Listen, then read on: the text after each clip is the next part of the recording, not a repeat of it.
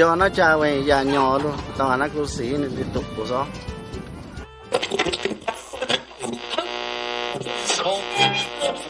Uh,